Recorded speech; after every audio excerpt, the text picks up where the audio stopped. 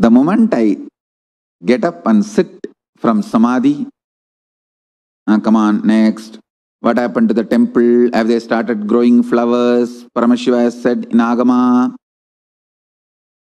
We need to start growing flowers for temple inside our campus is the project I am talking 10 years before. Of course, sometimes we tried and sometimes we did not succeed. Sometimes we, we were partially successful, but I will not stop or keep quiet till we are we made it. Before even the temple started, I started building garden. We have photographs. Small garden. So that when the temple happens, we will have a regular supply.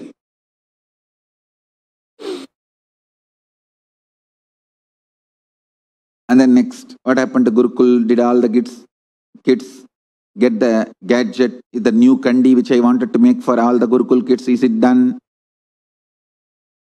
Then come on, sacred arts, is this deity done, that statue done? What is happening with this? What is happening with that? Then come on, vision department, what is going on?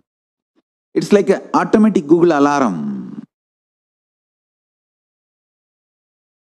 Continuous, intense, sincere hard work. That's it. If someone comes with me, great, come. If not, okay, bye. You carry on with your life. I'll carry on with my life. If somebody tries to oppose, uh, mm, mm, mm, in spite, I'll do my job. That is the reviver. Understand? I tell you, all of you have to become now revivers to flourish post pralaya. This pralaya, this corona pandemic is literally going to take away everything you know. Corona poch. Everything you know, corona.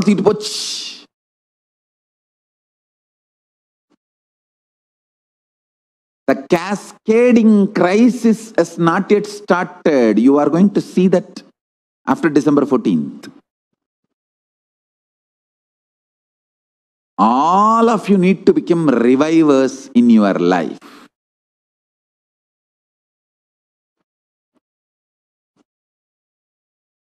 Lots of energy and will persistence is required. No time to allow pandemic fatigue. That's why I'm telling you, consciousness, conscious strength is going to be the wealth. Post Pralaya. Post Pralaya, the new world order. The conscious strength is going to be the wealth. Don't lose that. Guru is going to be the biggest asset. Don't lose that.